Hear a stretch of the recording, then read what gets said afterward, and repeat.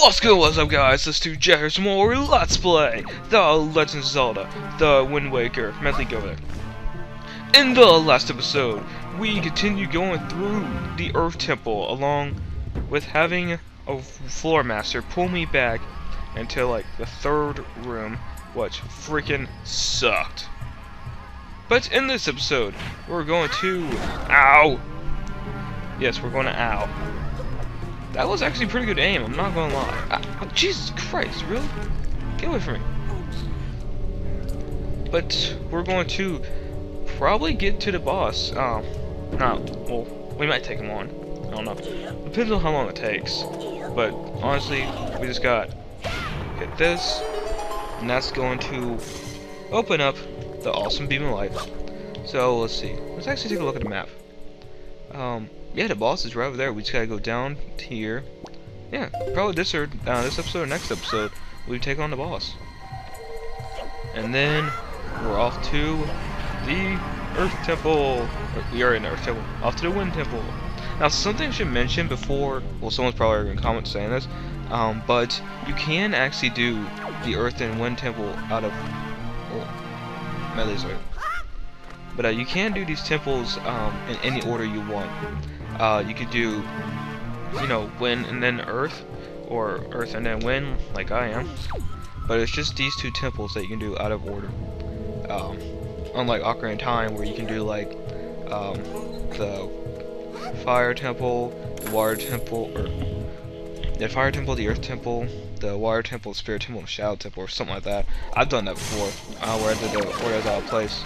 It's really cool and really trippy. This Medli, shut up. Are you kidding me? I know how to do this.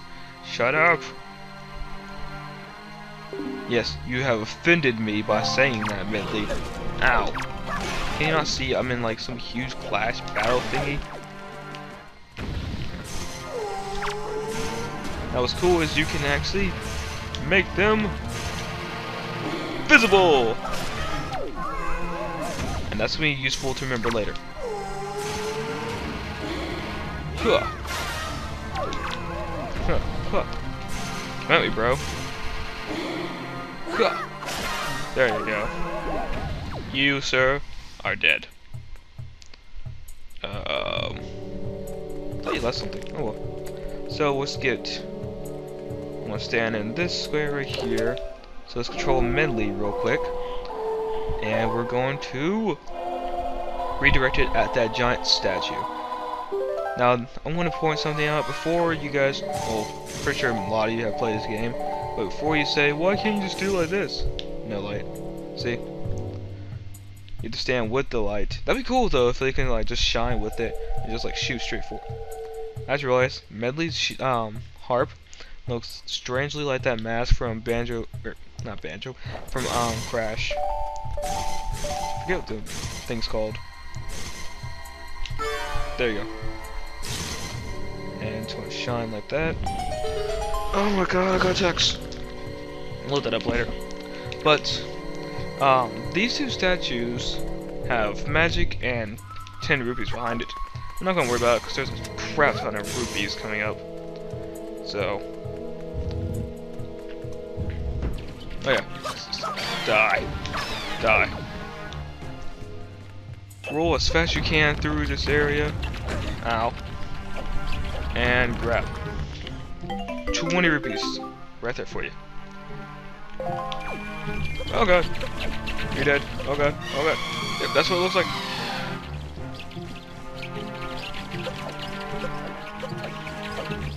There's actually a Stalfos in, um... Get away. Oh, there's 10 rupees right there. Could've got that.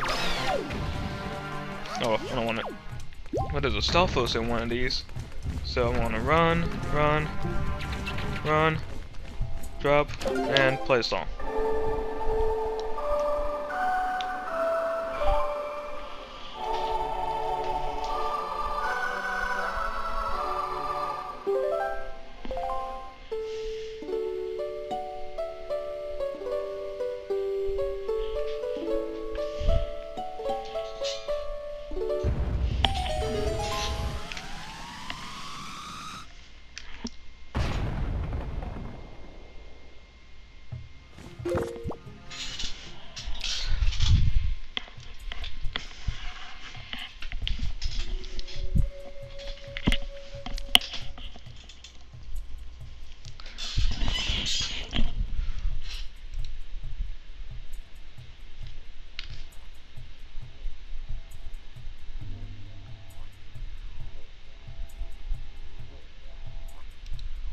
I'll be back to you in a second. Okay.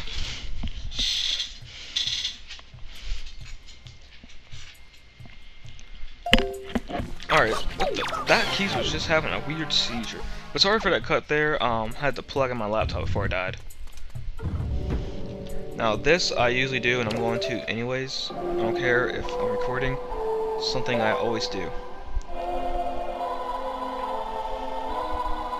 Because we are actually in the domain of the boss. So you know, just run down the stairs like this. And it's cool because it gives you a sense like, oh my god. And you know, you return to Link, and let me get my boss back out. Then Link runs down, and it's like, what, what's up? And then you see the boss's door.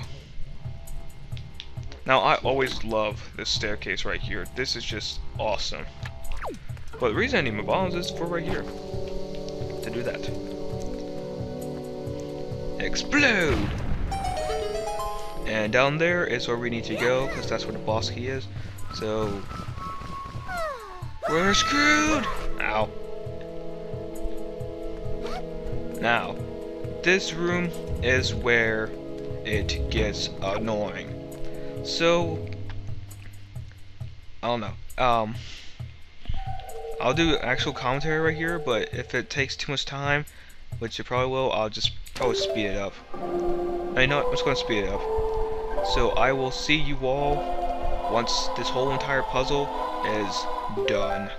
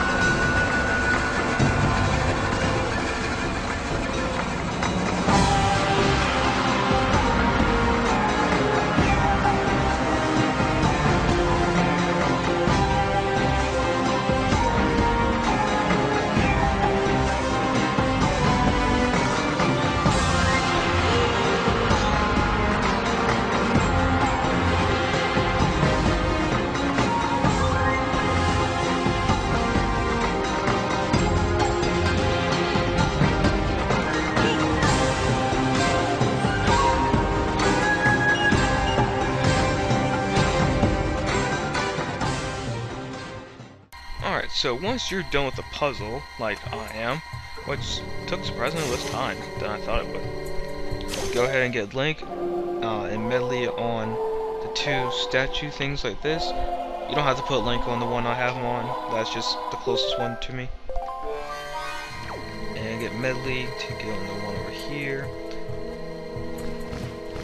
Like so. Okay, so, no wait, that's not gonna work. Okay, so, have hers, like that. And put his, like that. And the whole entire room is now lit. Yay!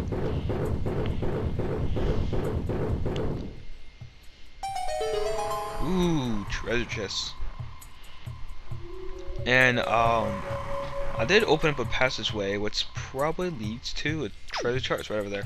Actually, I, I think it does, because there are no pieces of heart in dungeons until Minish Cap. So you'll come into this room, which has something like a mini boss. But let's see, I think it's that one. No, that one and that one. Those are the two uh, bubbles you have to take out. And here's the Dark Nut. Oh, that was slow in the reaction time for some reason. Now, like Matt said, um, back in Tower the Gods, we use this sword against them. Screw you. No, no, God, thank you. And we're gonna stand a gate. I win!